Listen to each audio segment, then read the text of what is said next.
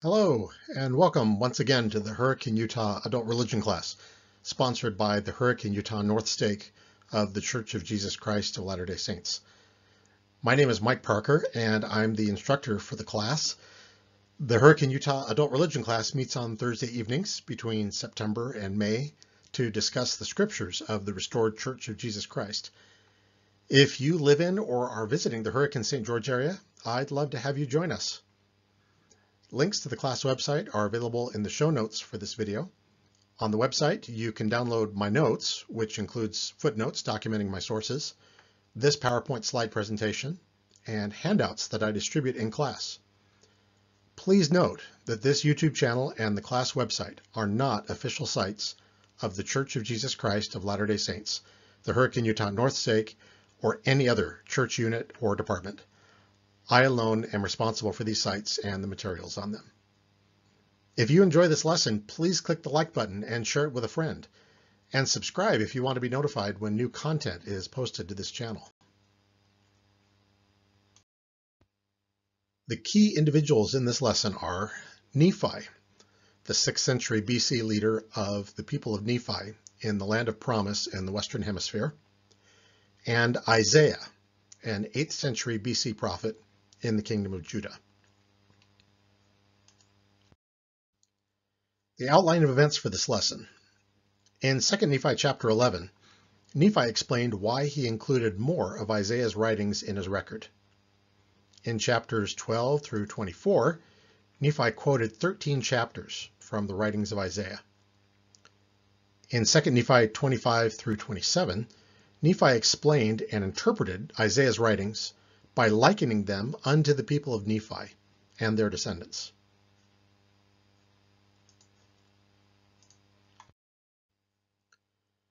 The setting for this lesson. Nephi wrote this portion of his record in the Nephite settlement named after him by his people.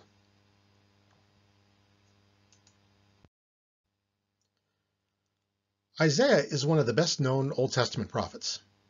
The book that contains his writings is among the longest of the prophetic books of the Old Testament. His name in Hebrew means Jehovah has saved or Jehovah has delivered. He was a prophet of the southern kingdom of Judah and part of the prophetic class of seers who dwelt in the king's court. He was called to be a prophet around 740 BC at age 20. He prophesied during the reigns of four kings of Judah and was court historian for a time.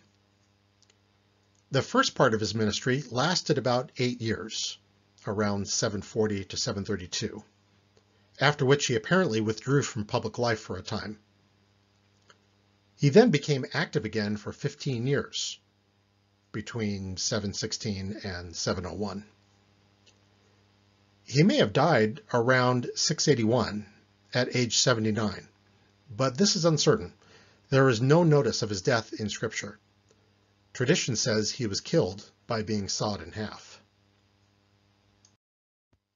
Moroni, the last prophet of the Book of Mormon, encouraged us to search the prophecies of Isaiah because they contain the purposes, promises, and covenants of the Lord. Jesus Christ himself quoted the prophecy in Isaiah chapter 54 to the Nephites and then told them, And now, behold, I say unto you, that ye ought to search these things. Yea, a commandment I give unto you, that ye search these things diligently, for great are the words of Isaiah. Isaiah is the only book of Scripture that the Lord has commanded us by name to read.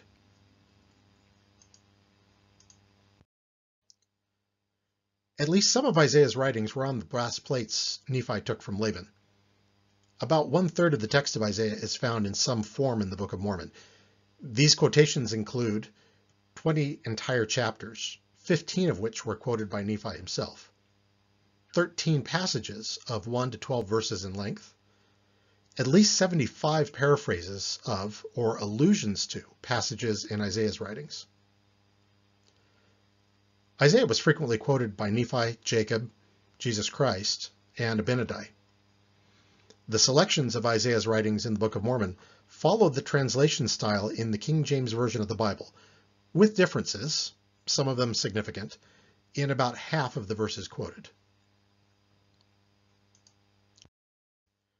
Here's one example from Isaiah 2, quoted by Nephi in 2 Nephi 12. In verse 5, the name title Lord is in small caps in the King James Bible, indicating that it is a euphemism for the Hebrew Yahweh or Jehovah. The Book of Mormon renders occurrences of Lord in mixed case throughout the text. The Book of Mormon also adds an entire sentence to the end of the verse, smoothing the transition to verse 6 by indicating why the Lord had forsaken Israel. At the beginning of verse 6, the Book of Mormon text clarifies that the personal pronoun thou refers to the Lord, not to the house of Jacob. The King James translation italicizes words that are not in but are implied by the original language. The translators use these to make the text understandable in English. The text of the Book of Mormon frequently varies from the King James in these italicized words. In this instance, the Book of Mormon introduced a subtle change in meaning.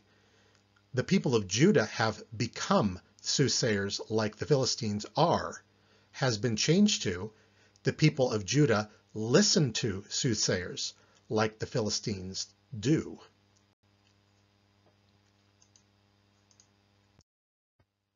Other than these variations, why does the Book of Mormon follow the translation of the King James Bible so closely? Shouldn't Joseph Smith have produced a completely new translation of the Isaiah material? Did he just copy the text of Isaiah right out of the King James Bible? Joseph Smith did not describe the details of how he translated the text of the Book of Mormon. However, witnesses to the translation process testified that he did not have a Bible or any other written materials with him when he dictated the Book of Mormon. Emma Smith, the prophet's wife, served as a scribe for him for a time during the translation. In 1879, shortly before her death, she testified to her son, Joseph III. Quote, In writing for your father, I frequently wrote day after day, often sitting at the table close by him, he sitting with his face buried in his hat with the stone in it, and dictating hour after hour with nothing between us. Question. Had he not a book or a manuscript from which he read or dictated to you? Answer. He had neither manuscript nor book to read from. Question. Could he not have had, and you had not known it? Answer. If he had had anything of the kind, he could not have concealed it from me. Unquote. While the evidence from the witnesses is that Joseph did not have any reading material, I'm not opposed to the idea that he consulted a Bible from time to time on an as-needed basis, as an aid in the translation process. It's also possible that the Lord revealed to Joseph a text that was very close to the King James Version. The King James was the only Bible people in Joseph's world were familiar with, and it would be a natural choice for the language of Scripture. Whatever the reason, it appears that Joseph was led to translate many Isaiah passages as they appear in the King James Bible. Let's also consider the flip side of this issue. Why do many quotations from Old Testament prophets in the Book of Mormon differ from readings in the King James Bible so frequently? There are at least five possibilities that explain the variant Isaiah readings in the Book of Mormon. First, some of the writings of Isaiah in the Book of Mormon may represent an earlier version of Isaiah's text than what we have in our Bible. The Isaiah text on the brass plates would have been written down less than 100 years after Isaiah lived, the Hebrew text of Isaiah, used by the King James translators and by most modern Bible translations, was written down about 1500 years later. A second possibility is that the scribe or scribes who wrote the Isaiah material on the brass plates made their own intentional changes to the text, and it's a virtual certainty that they made accidental changes. Third, in our last lesson, we discussed how Jacob purposely modified Isaiah's text to support his message. In a moment, we're going to talk about the creative ways in which Nephi used Isaiah. It's possible that many of the variant Isaiah readings in the Book of Mormon are the result of deliberate revisions by the authors of the Book of Mormon. Fourth, since it's at least possible that Joseph Smith may have used a King James Bible to help him craft the English translation of Isaiah in the Book of Mormon, a fourth possibility is that the text he produced may have followed the King James in certain places, instead of whatever reading was on the small plates of Nephi, a sort of hybrid text. Finally, as we discussed back in Lesson 2, some differences between the Isaiah text in the King James Bible and the Book of Mormon may be due to Joseph Smith's scribes mishearing or miswriting as Joseph dictated. I don't see any of these possibilities as mutually exclusive. Any and all of them may have taken place throughout the transmission of the text from Isaiah's original writings to the brass plates, to the Nephite plates, to the handwritten Book of Mormon manuscripts, to published editions of the Book of Mormon. There are other considerations readers should also keep in mind when studying the Book of Mormon. Some differences between Old Testament passages in the King James Bible and the Book of Mormon are due to later editorial changes made by the prophet Joseph Smith and others to the text of the Book of Mormon. One famous example that we discussed in Lesson 2 is Joseph's addition of the parenthetical phrase, or out of the waters of baptism, to 1 Nephi chapter 20 verse 1 in the 1840 edition of the Book of Mormon. This phrase was an interpretive addition that was not in Isaiah's original text, nor in Nephi's transcription of Isaiah's writings. To this we must add Joseph Smith's later revisions to Isaiah, which he completed in the early 1830s as part of his new translation of the Bible, the Joseph Smith translation, or JST, usually follows the Isaiah text in the Book of Mormon, but it also has its own variant readings. One example is this passage from Isaiah chapter 2.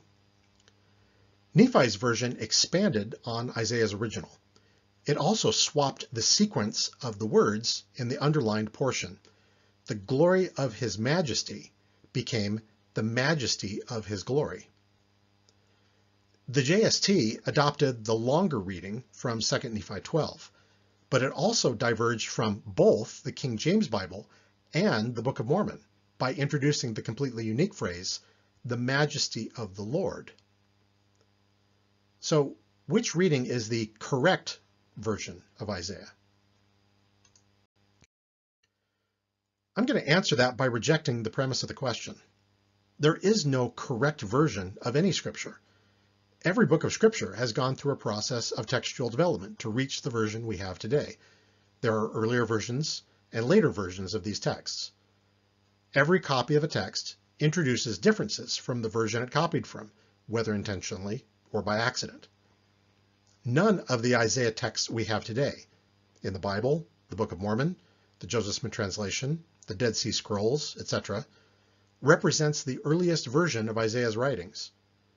The historical study of textual transmission suggests that all of these are textual forks that adopted different interpretive readings of Isaiah to suit the needs and purposes of the translators.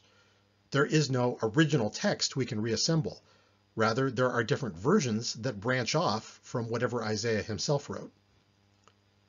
Each version that we do have is unique and important and should be approached on its own merits.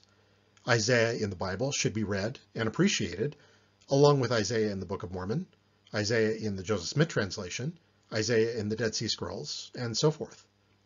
We learn unique and important things from each version. Isaiah's message wasn't just to a specific group of people at a single time.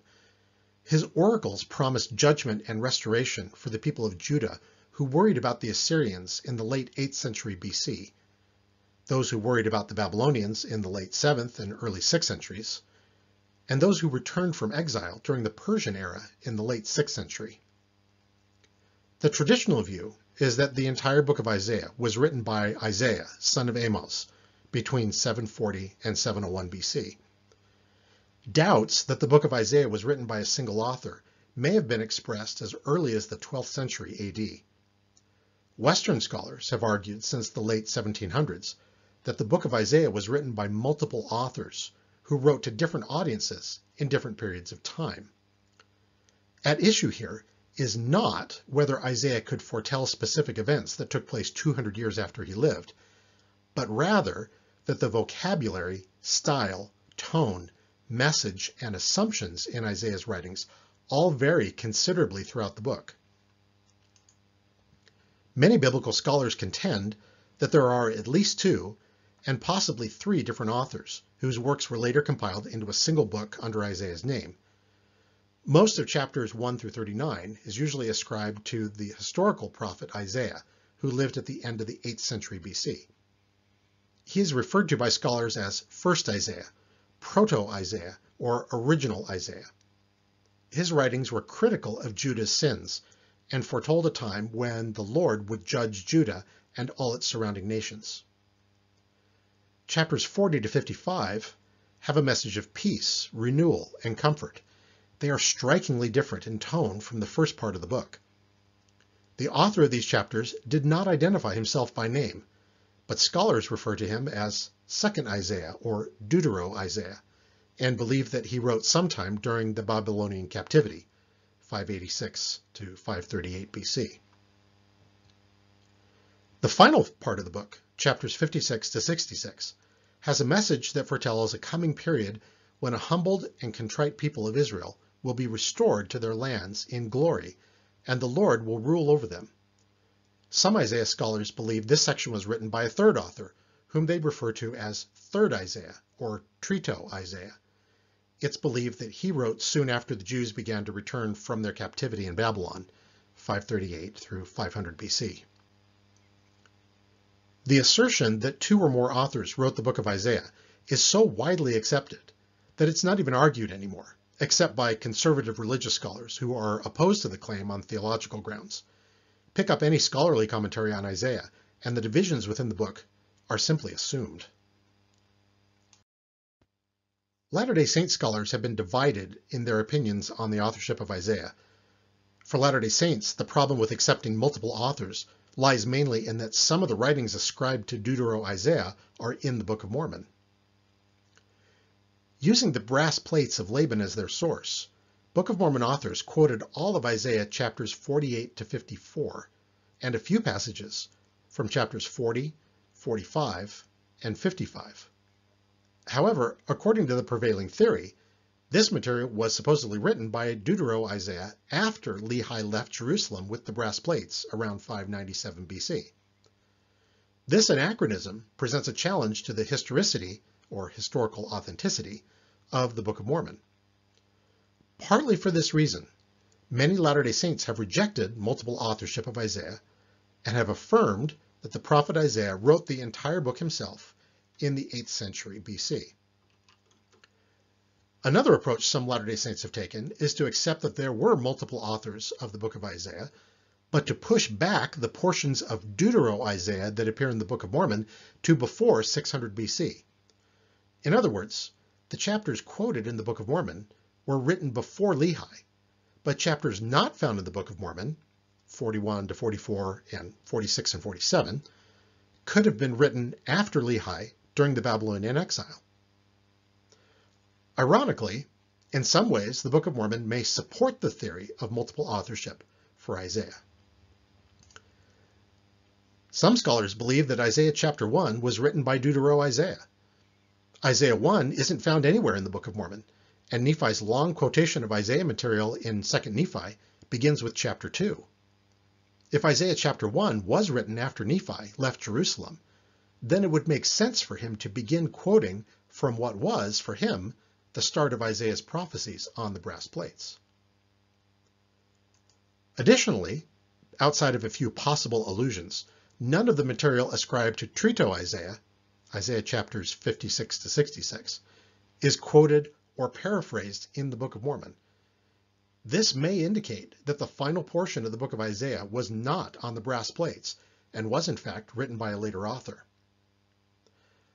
Whether or not one believes the book of Isaiah was written by more than one author, it's important to recognize that most ancient scriptures are composite works of original authors, as well as later editors and redactors. As Professor Hugh Nibley pointed out, quote, what we have in Isaiah is a lot of genuine words of the prophet, intermingled with other stuff by his well-meaning followers. Every chapter including those in Deutero and Trito Isaiah, contains genuine words of Isaiah, and every chapter, including all those in the early part of the book, contains words that are not his. Unquote. Having laid that extensive groundwork, let's now look at how Nephi used Isaiah's writings. Nephi had at least three purposes for using Isaiah. His first purpose was to prove the truth of the coming of Christ. He wrote, That I might more fully persuade my brothers to believe in the Lord their Redeemer, I did read unto them that which was written by the prophet Isaiah. My soul delighteth in the words of Isaiah, he wrote, for he verily saw my Redeemer, even as I have seen him, and my brother Jacob also has seen him. My soul delighteth in proving unto my people that save Christ should come, all men must perish. For there is none other name given under heaven, whereby man can be saved. For we labor diligently to write, to persuade our children, and also our brethren, to believe in Christ, and to be reconciled to God. For we know that it is by grace that we are saved, after all we can do. And we talk of Christ, we rejoice in Christ, we preach of Christ, we prophesy of Christ, and we write according to our prophecies, that our children may know to what source they may look for a remission of their sins. My soul delighteth to prophesy concerning Christ, whom Nephi taught cometh in six hundred years from the time that my father left Jerusalem. Nephi's message that Jesus is the Christ, the eternal God, was directed to both Jews and Gentiles. Nephi's second purpose in using Isaiah was to reveal the covenants of the Lord. As we read in Jacob's teachings last week, the people of Nephi saw themselves as a people who had been cast off. So he used Isaiah's prophecies of the gathering of Israel to comfort them. Nephi did rehearse unto Laman and Lemuel the words of Isaiah, who spake concerning the restoration of the Jews, or of the house of Israel, and after they were restored, they should no more be confounded, neither should they be scattered again. After quoting and interpreting Isaiah 29, Nephi taught that the Lord would proceed to do a marvelous work among the Gentiles, that I may remember my covenants which I have made unto the children of men, that I may set my hand again the second time to recover my people, which are of the house of Israel. His third purpose was to warn all people about the judgments of God. Nephi explained that one of the reasons he quoted 13 chapters of Isaiah was so that his people and his children, as well as all those that shall receive hereafter these things which I write, may know the judgments of God that they come upon all nations because of their wickedness. Nephi applied Isaiah's warnings to the people of Nephi, as well as to the Lamanites, and to Jewish and Gentile readers of the Book of Mormon in the last days. Nephi wrote that Isaiah spake many things which were hard for many of my people to understand, but Nephi delighted in plainness, so he left us four keys to help us interpret Isaiah. These keys are found in 2 Nephi 25, verses 1 through 8. His first key is to learn the manner of prophesying among the Jews. This includes, among other things, learning their history, culture, beliefs, language, and writing styles. How did Hebrew prophets convey the Lord's message to their own people? Nephi promised that the words of Isaiah are plain unto all those that are filled with the spirit of prophecy. So his second key to understanding Isaiah is to obtain the spirit of prophecy. Obtaining the spirit of prophecy starts with gaining a personal witness of Jesus Christ. For, as an angel told John the Revelator, the testimony of Jesus is the spirit of prophecy. Later in the Book of Mormon, Mormon tells us that the sons of Mosiah obtained the spirit of prophecy after much prayer and fasting. The prophet Moroni taught that the spirit of prophecy is a gift of the Spirit. Apostle Wilford Woodruff likewise taught, It is the privilege of every man and woman in this kingdom to enjoy the spirit of prophecy, which is the Spirit of God. Nephi's third key was to become familiar with the regions round about Jerusalem. This means learning the geography and geopolitical history of the Kingdom of Judah, its capital city Jerusalem, and its neighboring states, Israel, Edom, Moab, Egypt, Syria, Assyria, Babylon, etc. If we understand the region and political situation in which Isaiah prophesied, we'll understand his words much more easily. Nephi's final key was to live in the last days, for in that day they shall understand Isaiah's words. Wherefore, for their good have I written them. This last one is easy. You've already done it. Let's next examine how Nephi used Isaiah. Four times Nephi explained that he reinterpreted Isaiah's writings to apply them to his own people. In 1 Nephi 19.23 he explained, I did read unto Laman and Lemuel that which was written by the prophet Isaiah, for I did liken all scriptures unto us, that it might be for our profit and learning. In 1 Nephi 19.24 he exhorted his wayward brothers, Hear ye the words of the prophet Isaiah, which were written unto all the house of Israel, and liken them unto yourselves, that ye may have hope, as well as your brethren from whom ye have been broken off. In 2 Nephi 11, verse 2, before quoting 13 chapters of Isaiah's writings, he declared, I will liken Isaiah's words unto my people, and I will send them forth unto all my children. He then told his people in 11 verse 8, Now these are the words of Isaiah, and ye may liken them unto you and unto all men. It's important to keep in mind that Nephi explicitly stated that the interpretations he applied to Isaiah's writings were not intended to reflect Isaiah's original meaning. Rather, Nephi gave them new meaning by applying them to his own people. Let's look at an example of this by reviewing Nephi's interpretive reading of Isaiah 29, found in 2 Nephi chapter 27. Let's first examine Isaiah's original meaning behind his prophecy. The prophecy is divided into three sections. Section 1, Isaiah 29 verses 1 through 8. Jerusalem would be besieged, and many Jews would be killed, but the Lord, Jehovah, would protect them. Verses 1 through 3. Isaiah called Jerusalem Ariel, which means a sacrificial altar hearth. Jerusalem was like a sacrificial altar because of the destruction that would take place there after foreign nations besieged her. Verse 4 The dead people of Jerusalem would speak from the underworld as ghosts. Verses 5 and 6 Despite this, the foreign nations that attacked Jerusalem would become like dust or chaff because the Lord will destroy them with earthquakes and other natural disasters. Verses 7 and 8. Eventually, it would seem to the people of Jerusalem as if these invaders had been a dream of a night vision, something they only imagined. Section 2, Isaiah 29, verses 9 through 16. The wicked people of Judah would ignore Isaiah's warning because they were spiritually blind. Verses 9 and 10. The Lord gave the people over to spiritual blindness as a form of punishment. Verses 11 and 12. Isaiah's revelation was like a sealed scroll. When he shared it with learned men, they refused to open the scroll. When he shared it with unlearned men, they told him they can't read. In other words, no one was paying attention to Isaiah's prophetic warnings. Verses 13 and 14.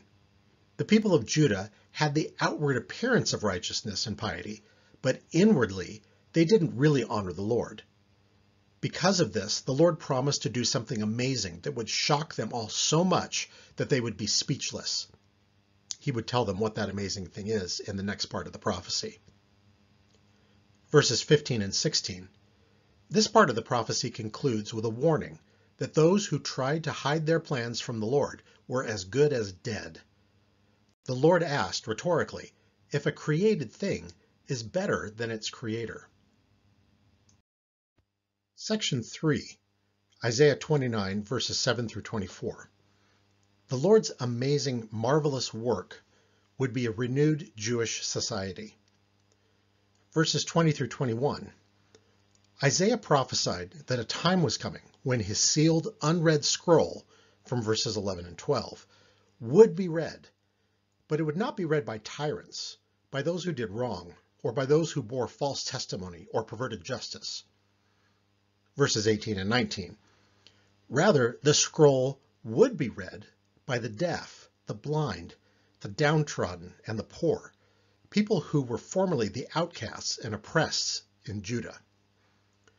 Verses 22 through 24. He prophesied that a new Israelite society would arise that would honor and respect the Lord, one that would have true understanding and insight. The prophecy in Isaiah chapter 29 was especially important to Nephi because it gave him hope that his descendants, even though they would be destroyed, would still play a key role in the restoration of the gospel and gathering of Israel in the last days. He reinterpreted and reapplied Isaiah's words in 2 Nephi chapter 27. Nephi explained the setting for his prophetic interpretation in 2 Nephi 27. Verse 1 In the last days there would be a universal apostasy, with all men being drunken with iniquity and all manner of abominations verses 2 and 3. At that day, the Lord will bring natural disasters upon the people. The wicked will fight against Zion, but their supposed victories will only be imagined. Like a hungry man who dreams he is eating, or a thirsty man who dreams he is drinking, they will wake up and be unfulfilled. Verses 4 and 5. The people in that day will stumble spiritually because they have rejected the prophets. Verse 6 At that day the Lord shall bring forth the words of a book, and they shall be the words of them which have slumbered. Verses 7 through 14 The book Nephi saw will be sealed by the power of God, hidden from the world, and seen only by witnesses specifically chosen by God. Note that there is no matching passage in Isaiah 29 for 2 Nephi 27, verses 7 through 14. Nephi interjected his own prophecy into the middle of his interpretation of Isaiah. Verses 15 through 18. The words of the book will be shown to someone who is learned, but he will refuse them because he cannot examine the book for himself. Verses 19 through 23. The words of the book will then be given to someone who is unlearned, who cannot read them. The Lord will give him power to read the words, after which he will be commanded to seal up the book again and hide it up unto the Lord. Verses 24 to 35. The bringing forth of the book by the unlearned man will be the start of the Lord's marvelous work and a wonder that will lead to a spiritual outpouring on the world and an ushering in of God's messianic kingdom. Isaiah's phrase, a marvelous work and a wonder, had a profound effect on Nephi. He used it five times to describe the restoration of the gospel in the last days. Nephi's interpretation reapplied Isaiah's prophecy to the coming forth of the Book of Mormon in the last days. The unlearned man is, of course, Joseph Smith, who translated the Book of Mormon and then restored the Lord's church and kingdom to the earth in the last days in preparation for the second coming of Christ. Book of Mormon prophets Lehi, Nephi, and Moroni all used Isaiah's prophecy of people speaking out of the dust like a ghost as a metaphor for how the writers of the Book of Mormon will speak to us in the last days, even though they are long dead. This is an excellent example of how Nephi personally applied the scriptures to himself and his people. For Nephi, the scriptures were not just something to be read and understood, they were to be internalized and applied. One final thing. There's something interesting in Nephi's use of Isaiah in 2 Nephi 27. It includes what may be the earliest recorded reference to Joseph Smith's first vision. Nephi declared that the Lord shall say the words of Isaiah's prophecy in Isaiah 29 verses 13 and 14 unto him that shall read the words of the sealed book. Nephi's prophecy that the Lord shall say Isaiah's words to Joseph Smith was fulfilled in the statement Jesus Christ made to Joseph in the first vision. If 2 Nephi 27, verses 24 through 26, is indeed an allusion to the first vision, it is the earliest recorded reference to it in Joseph Smith's revelations and writings. With Isaiah's prophecy of the marvelous work and a wonder as his launching point, Nephi next applied Isaiah's words to his vision of the great and abominable church. We'll discuss that next week, along with Nephi's prophecy of the coming forth of the Book of Mormon in the last days, his teachings on the doctrine of Christ, and his final testimony. The reading for next week is 2 Nephi chapters 28 to 33. If you enjoyed this lesson, please click the thumbs up button to give it a like and leave a comment below. Please subscribe if you'd like to be notified when new lessons are posted to this channel and visit www.huarc.org to download these notes, this slideshow, and the handout for this lesson. Thanks very much.